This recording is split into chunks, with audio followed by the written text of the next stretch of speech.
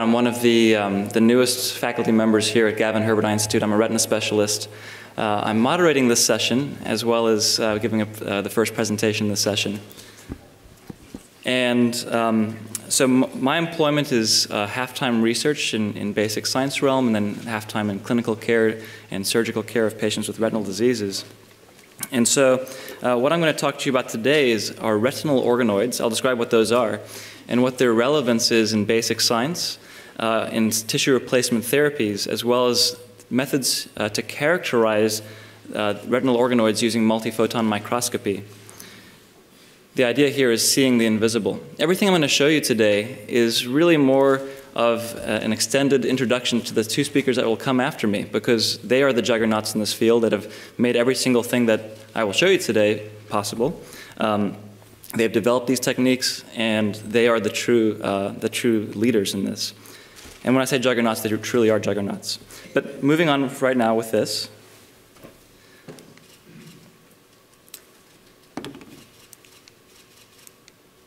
So we've seen some cross sections of eyes today, and we see in this, in this uh, depiction here the orange retina, the most important tissue in the body. And when we take a photograph inside the eye, we can see that important tissue. This is where light's turned into electricity and allows us to perceive every single bit of visual information. And so in this picture, we can see the optic nerve, we can see the blood vessels coming off that nerve, we can see this little change in pigment centrally. That's your central vision. That's where you read and see faces. That's what gives us our high acuity vision. And then, of course, everything else over here is the peripheral retina, the peripheral vision. That's what saves you from being hit by a car. And so, uh, if we zoom in and look a little bit more closely at the back of the eye, looking at this retinal tissue that's important for high acuity vision, we can uh, see that there's a lamellar structure to it. And in this depiction here, we have orange being the retina, a foundation of the retina in green, and then the red blood vessels that supply half of the bottom of the retina uh, with oxygen and nutrients, and also take away toxins. And so we can zoom in a little bit further, and as you've seen some depictions today already in a number of, of talks, there are technologies that allow us to look at this resolution uh, in patients on a routine basis. Pretty much every single patient that comes into the, one of the retina specialists' clinics here uh, at Gavin Herbert has a photograph that looks like this. And so you can see incredible detail. That detail includes not only the optic nerve, which connects the eye back to the brain and sends all the information back to the brain, but also this foveal depression, which is completely normal. That's where light is turned into electricity, and we have the high acuity vision. Of course, the vitreous jelly inside the eye, and the blood vessels underneath the retina over here as well. And so here's a photograph of a patient who I saw a couple weeks ago. And this is a color fundus photograph. It shows you the, the beautiful anatomy of the inside of the eye that we are looking at routinely. And at first glance, it actually looks pretty darn normal. If you've looked at thousands of these, and you start to, to be able to pick up the nuances of what is abnormal. But we use a lot of photography techniques to try and look at normal and abnormal things in ophthalmology. If I take a different type of photograph, this photograph is the retina in a nightclub. Imagine taking a, a, black light from a nightclub and shining it on the retina and looking at the glow of the, of the retina, kind of like a yellow t-shirt or a white t-shirt that looks like it's glowing in the nightclub. That's what this picture is. You've seen a couple of these today already uh, in some of the talks that talked about AMD. If you look carefully at this picture, you can see that there may be something that's a little bit out of place down here.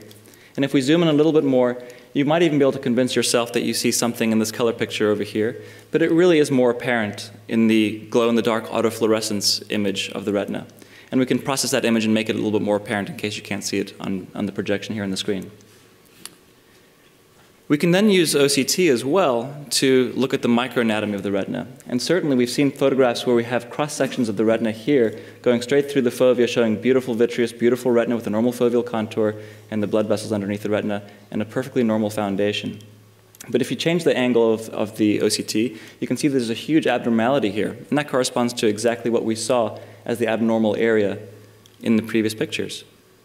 So we use a lot of different imaging tools to try and assess the structure of the retina in clinic. And the key word there is structure. We can get a great deal of information about structure of the retina. But what, what does the retina do? It turns light into electricity. It's a highly metabolic tissue that turns light into electricity so we can perceive the world. And so seeing retinal function is critical. Here's an example. It's very similar pictures to what Dr. Schwartz showed us this morning of age-related macular degeneration in its dry but advanced form, where you see classic loss of pigmentation in, this, in the central uh, macula and in the fovea. So basically, light cannot be turned into electricity here. And then the glow in the dark, the nightclub view of this, shows the same areas of no pigment, because what's happening is that there's no cells here that can reflect or glow in the dark. And so people with this uh, type of disease have lost their central vision. They're not blind, they can see things in the periphery, hopefully, but they usually have just lost their central vision. And again, we can compare this to the normal OCT, where you see a nice foundation of the retina here. But the foundation of the retina in age-related macular degeneration in its advanced form is completely lost. The cells that line the foundation are completely absent. the photoreceptors, which are this bottommost layer, they're supposed to be here. They're still present over here, but the photoreceptors are all gone. There's no light being turned into electricity in this area, or very little at least. So we can take color photographs, and so here's uh, an analogy to what I'm going to talk about today. And that is, we can take color photographs here. In this case, we have a, a child's bedroom with some cats on the wall, some balloons on the bed, and a nice white wall in the background. And that's kind of similar to the photograph of the back of the eye where we have geographic atrophy and macular degeneration, loss of pigment in the central vision. We can turn the night lights on and we can see that there's something there that we wouldn't have seen otherwise. We can see a whole galaxy that these, these cats are enjoying looking at on this child's wall. And that's similar to the, to the uh, glow-in-the-dark photographs, the autofluorescent images that we look at in clinic. But then what happens if we actually look at the quality of the light? It's not just blue light. There's information encoded or stored in that blue light. There's, that information can be separated out using mathematical analysis of the light as it glows.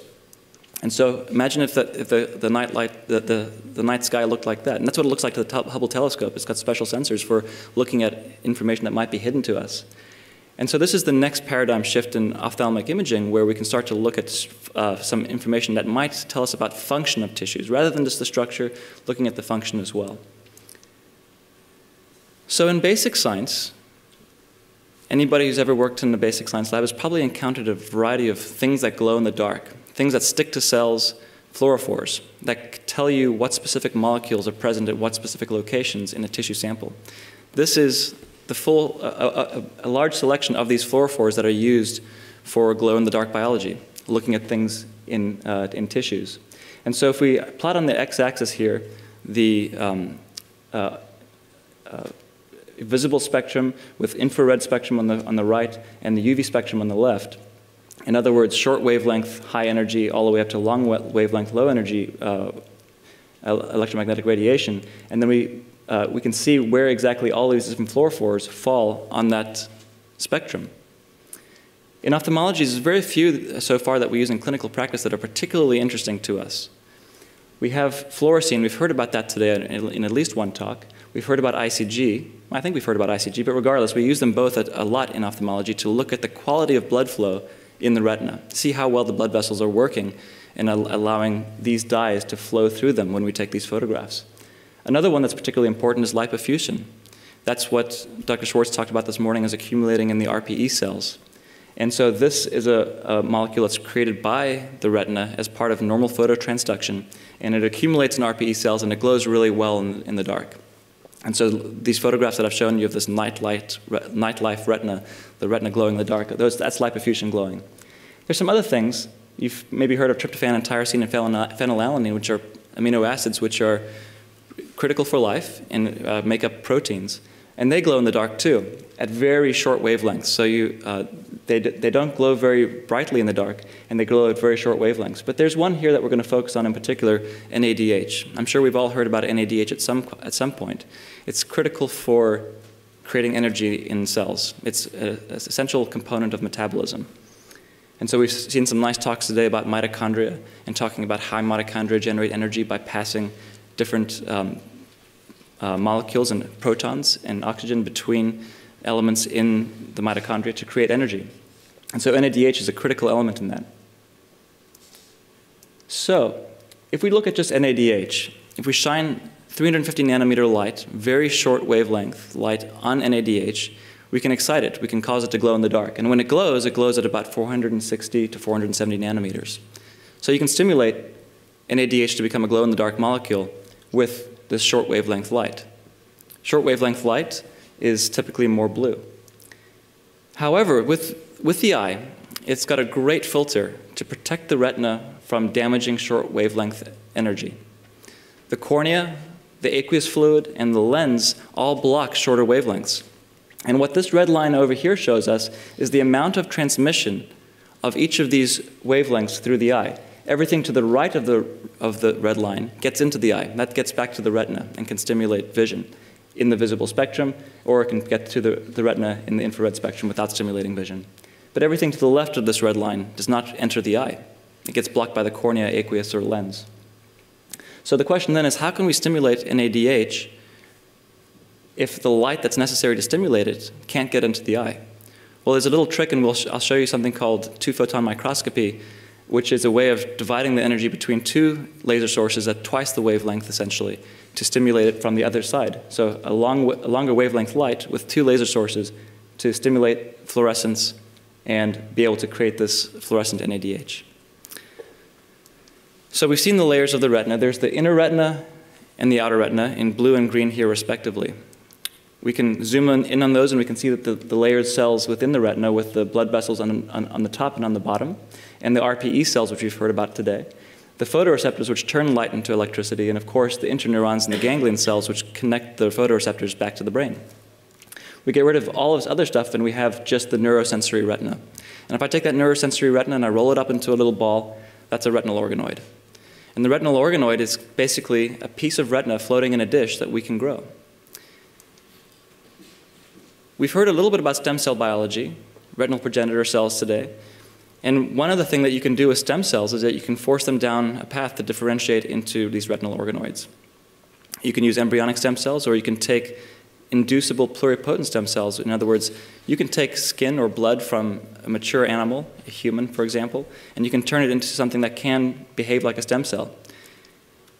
And you can create these retinal organoids that develop over time. And so we see a day one organoid here as it matures to a day three and a day 27 organoid. And you can have these balls of retina floating in a dish and maturing over time. And they mature in a very much similar time course to the way that retinas develop in utero.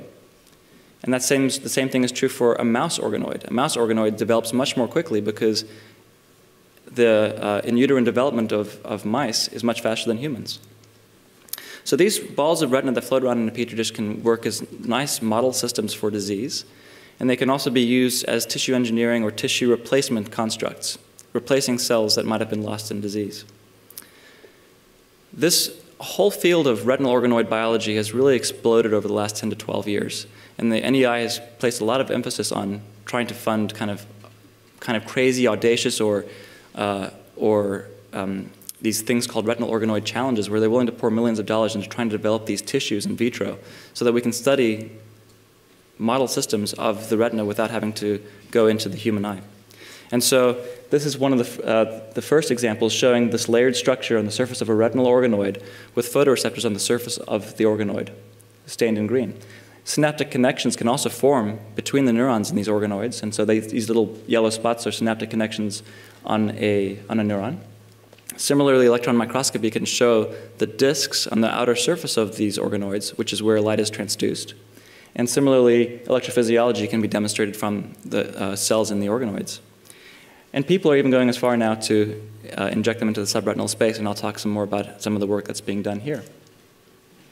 So here's some work that I started, uh, I think must have been three years ago now. Cosimo Arnesano uh, is here today. Scott Fraser is here as well, our final speaker for the day. I was working with them at USC, and it was a confluence of, of fortune. Um, finishing my residency, I uh, met a group at, at Children's Hospital Los Angeles who also developed retinal organoids, and uh, we all connected to each other, and we uh, started to investigate these organoids. We used many of the techniques of the second to last speaker today to investigate these organoids, Enrico Gratton. But so one of the things you can look here is these organoids from 46 days in culture, as they mature to 151 days, five, six months of culture, these balls of retina floating around like a retinal detachment in culture. Um, we can see that there's a, a, fair bit of heterogeneity in the structure of these organoids. They can be multilobulated, sometimes they can be round. Um, but we can see with, uh, with light microscopy how these retinal organoids change over time.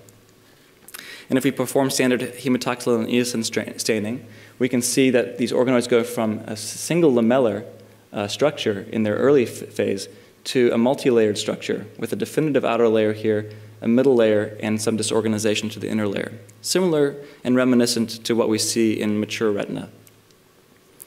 We can perform immunofluorescent staining of these organoids and see over time how um, different cell populations arrange themselves in the organoids. And here we have what are presumed to be photoreceptors on the outer surface of the organoids, staining in green. I'm just going to focus on that because that, that's uh, relevant to some of the other um, results that I'll show you shortly.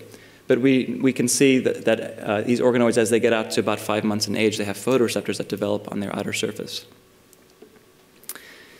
Like any self-respecting retinal specialist, we can put an OCT in front of the organoid and try, try to take a photograph with OCT as well. And so what we see here is, remember what the normal retina looks like on OCT with multiple layers where the nuclear or cell body layers are hyperreflective or dark. So these dark layers in the retina are all nuclear layers. In the mature organoid here at, at, about five months, we can see this dark layer at the surface of the organoid, and that corresponds to what we've seen in standard histology, that there is a defined uh, surface layer, and that uh, correlates also with where the photoreceptors are found. Any physician who's ever spent any time in an emergency room knows that everything needs a CAT scan, and so these organoids also needed a CAT scan. And you can see over time that uh, the, the, the, structures of these organoids, although we can't really resolve too much uh, detail about the uh, layered structure of the organoids, we get a little bit more information about the inner architecture of these organoids. But it doesn't reveal too much. So now is uh, the elegant introduction. I hope it's elegant. I hope it, I can do you service um, as to the work that uh, was pioneered here by Enrico Gratton and uh, is performed by the, the strength of, of biophotonics in Southern California with Enrico and Scott, uh, who, who, are our next two speakers. Fluorescence lifetime imaging microscopy is this special technique where we can take two lasers and we can shine a light onto a very specific point in space. When I'm saying shining a light, I'm saying we have a nanoscopic uh, coincidence of these two lasers, subcellular localization. And what those two, uh, two beams of light do is they stimulate autofluorescence and then light is emitted. And so we can capture all the light from every single point in space. And if you take these two beams and you scan them across the, uh, the retinal organoid, you can reconstruct an autofluorescent image. And actually, the surface of the organoid here has got a, a, lot of autofluorescence. And then it's hard to appreciate, you'll see better in some later uh, slides, that there is a dark band of, uh, of autofluorescence, and that corresponds to where the nuclei are. So this is the glow in the dark. This is the, the, cat, the, the galaxy in the sky, but really looking at, at, at what information is encoded in that glowing light is where the elegance of this technique ar arises.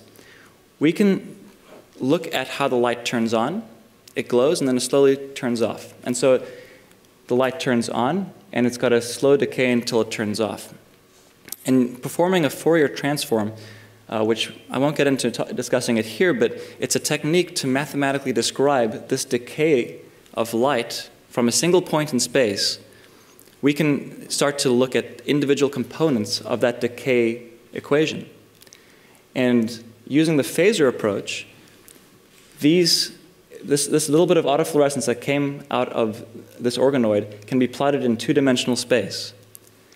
And we can know that NADH has got two different forms. Some of it's floating around freely in the cytoplasm, some of it's floating uh, is, is associated with proteins. And we know that the lifetime of NADH changes. This decay profile becomes shorter or longer depending on whether it's associated with other proteins. And so we know that in this two-dimensional space, this little region over here is free NADH, and this area over here is bound NADH. And so that should be reminiscent of oxidative phosphorylation and glycolysis. So we can artificially create a metabolic spectrum where we color code uh, individual pixels that, have, that are associated with this part of the two-dimensional plot to be yellow or green, and this part of the plot to be red. And we can artificially color this organoid and see that there's a glycolytic surface and a more oxidative core. So as we use this, the, the, this is the analogy for the child's bedroom of extracting information out of glowing lights. So as, uh, when we look at the maturing, the, the, maturation of these organoids, we can see uh, these dark spots being the nuclei and surrounded by a lot of uh, autofluorescence. And over time, you can see a structural change without touching the organoid. Immunofluorescence in histology requires sacrificing the organoid, cutting it into pieces, and that organoid is over, but it does give you information that way. This technique is literally like the tricorder from Star Trek, where you just wave a light source over, over some tissue and you get a diagnosis in a sense. And so what we see is a change in the metabolic signature as these organoids mature. The surface of the organoids are highly glycolytic. You may recall from the previous slides that that's where the photoreceptors are. From prior studies where retina has been explanted from animals and then very finely sectioned at the micron level, we know that the photoreceptors are glycolytically active. So now, without touching organoids and knowing that where photoreceptors are, we can confirm that there is glycolysis effect occurring at the surface of the retinal organoid. Another approach is called hyperspectral imaging. It's very similar. We use two laser beams to cause the thing to glow, and then we look at every single pixel in space and look at the rainbow. So there's actually color information encoded in that light as well. And we can divide that colors, the, the, the colors into different uh, channels, so 32 different channels, and then perform a similar approach using phasor analysis, again, developed between the two groups here in USC, to look at where are retinol and retinoic acid located. So again, not touching, not even touching the tissue, just shining light on it and letting it glow and tell us where are subcellular constituents within the cells. And so we can actually plot out where are retinol and retinoic acid. So if we look at these organoids as they mature over time, again, you can see the structural changes over time as they mature. We can look at free NADH. The signal's not quite as strong from hyperspectral imaging, but the most important thing to look at uh, and the most interesting uh, thing to look at is the distribution of retinol and retinoic acid being concentrated in the same location as where photoreceptors are located. And there's processing of retinol and retinoic acid also by the middle retina, so there's a concentration of, uh, of these two um, constituents in places where we might suspect that they should be found. So Scott Fraser coined the, the, the term uh, retinoid Rosetta Stone, which is basically a, a, series of imaging modalities applied to these retinal organoids to kind of describe the language of looking at, at organoids with light.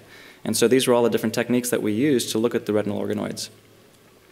So at this point, uh, this work is, is kind of blossoming into a, a, variety of different directions. Here at UCI, we have Magdalene Seiler, who's here today as well, and, and Bryce McLelland, who's, uh, who works with her in her lab. They are the local retinal organoid biologists. And Karl Wahlin down at UCSD is another local retinal organoid biologist um, who, uh, and, and they both have different research programs uh, directed at different endpoints. And I'll talk, mention that briefly in a few moments. We have a, an amazing uh, group of imaging experts. Bruce Tromberg, who's not here today, but Enrico, our next speaker, Mimo up at USC, and also Scott Fraser, um, who uh, really make Southern California specifically use, um, uh, unique uh, because not every place in the world has the microscopes that, that are available here or the techniques to analyze data uh, in biological specimens. And not only the eye, in every single biological specimen you can imagine.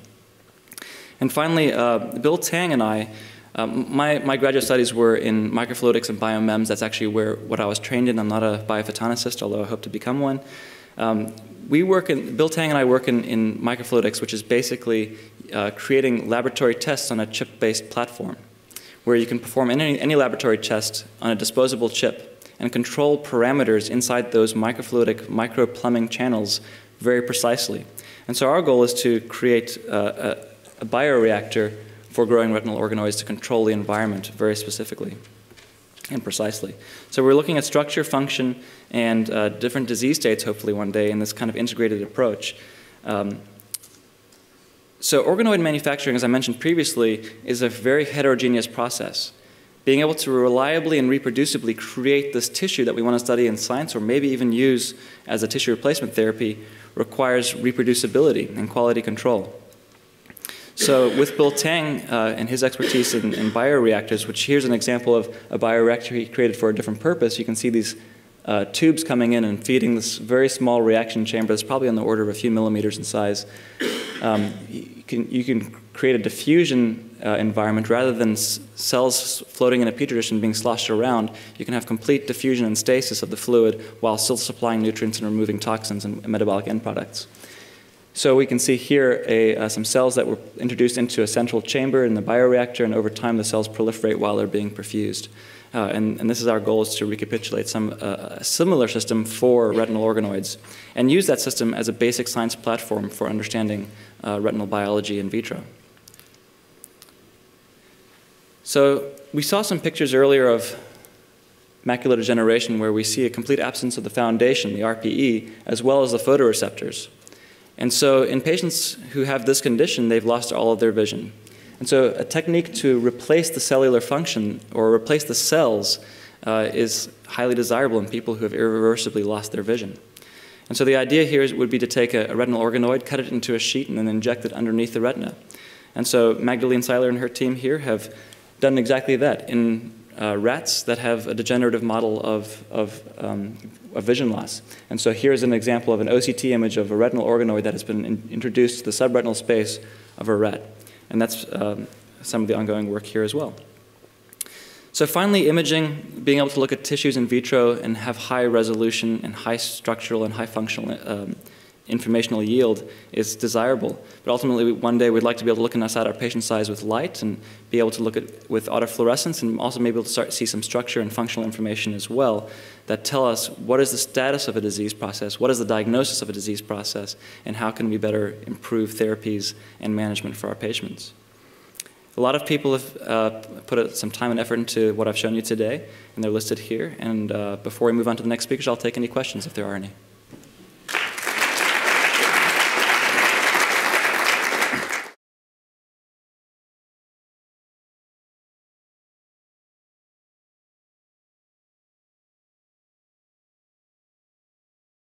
Right, there are RPE cells that develop uh, in the course of retinal organoid development.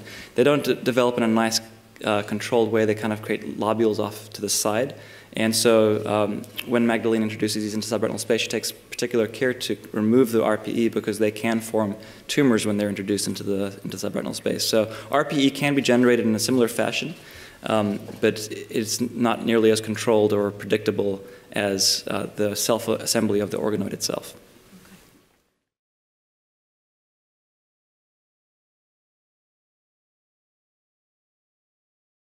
Um, humans have got three different cone opsins. Uh, Dr. Jameson does research in color vision and um, is trying to understand how we can detect and measure uh, a fourth cone opsin, a fourth wavelength of light. And so uh, these organoids can be generated from any, any animal in principle. And uh, Karl Wahlin has demonstrated cone opsins. Um, actually, I think they were of the uh, L and M variety. I'm not sure if S opsin was, was available um, or was detected uh, in his work, but um, in principle, yes, you should be able to get to that point eventually. Oh, very nice.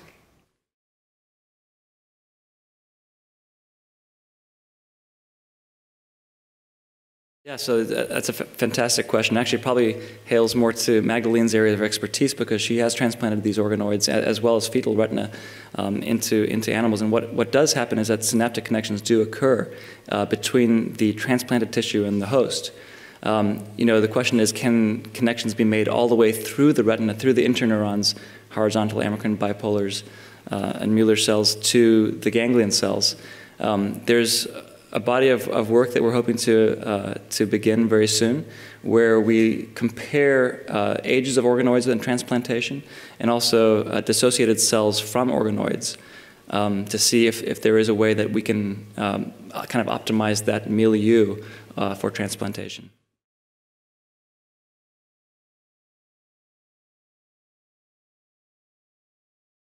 So, so two-photon microscopy has not been done in any living animal yet. Um, so this is what I've shown, I believe, is the only two-photon microscopy of retinal tissue. Um, there is a, an adapted Heidelberg spectralis device uh, that has been circulating around the country and the world. It's only maybe two or three of them. Very few people have had access to them. But they uh, use single photon excitation in the, uh, in the spectrum. I think it's probably around 400 nanometers or maybe a little bit longer um, to stimulate autofluorescence and then look at lifetime um, but it's not uh, two-photon excitation. Now, when we talk about two-photon microscopy, it's a really broad set of uh, microscopy techniques that encompass things like FLIM and hyperspectral imaging, which I showed today. But with these uh, microscope systems, there are tunable lasers where you can vary the wavelength, and I think most typically, and, and I think it's always within the infrared spectrum, uh, that, that excitation occurs with multiphoton because the benefit is uh, that a longer wavelength is less damaging than a shorter wavelength. And so the idea is you can use less energy and create less damage to the tissue um, in situ. Thank you.